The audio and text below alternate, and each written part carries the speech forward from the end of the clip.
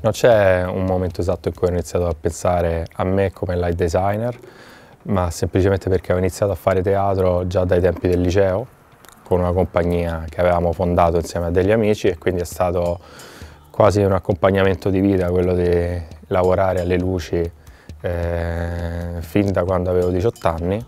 Poi è diventata una professione, ma la sento una cosa che è da sempre con me.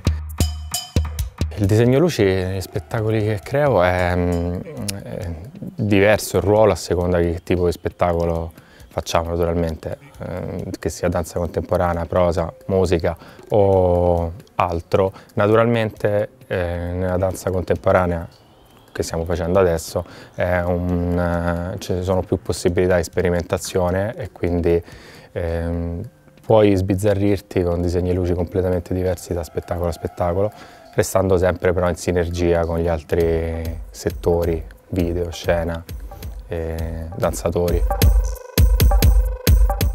Quello che mi ha colpito in questo progetto è che eh, quasi ehm, ognuno di noi si è quasi dimenticato delle proprie origini.